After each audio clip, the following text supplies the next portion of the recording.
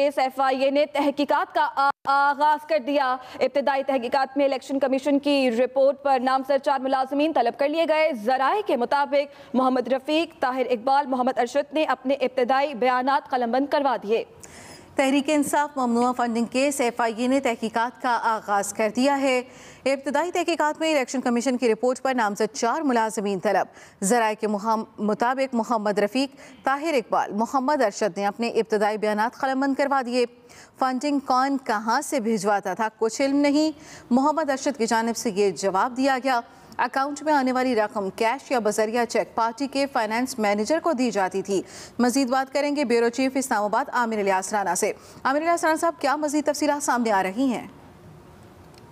देखें जी, बात, ये गवर्नमेंट ने एक फैसला किया। इलेक्शन कमीशन ने जो कुछ लिख के भेजा है, उसकी बुनियाद पे एफआईए को एक इंक्वायरी के लिए ऑर्डर किए गए।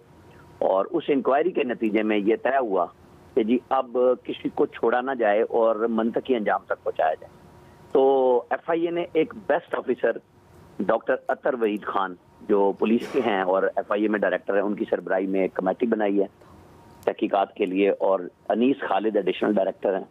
दोनों की शहरत यह है कि इनके हाथ में जो केस होगा, ये किसी के दबाव में काम न करे। इमरान खान और उनकी पार्टी के हक में फैसला होगा तो लिखेंगे और अगर उनके खिलाफ होगा तो वो भी लिखेंगे, ये गवर्नमेंट का या किसी सियासी जमात का कोई प्रेशर नहीं लेंगे। इन इन जो नंबर टू हैं एफआईए के अपने अफसर खालिद अनीस, इन्होंने तो बिल्कुल सुप्रीम कोर्ट तक में भी खड़े होकर ईओबीआई e और ओमनी ग्रुप के केसेस को डिफेंड किया है प्रोसिक्यूट करवाया है।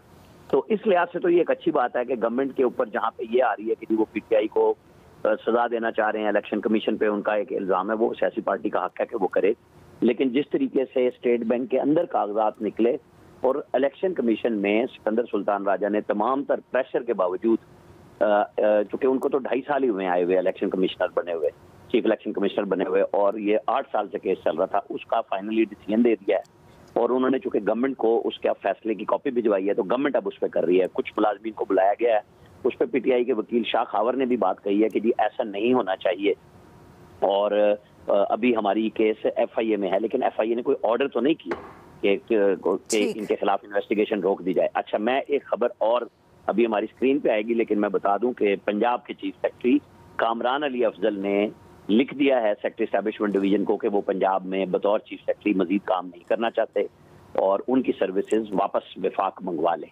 ये अभी अभी खबर आई है जो मैं आपको बता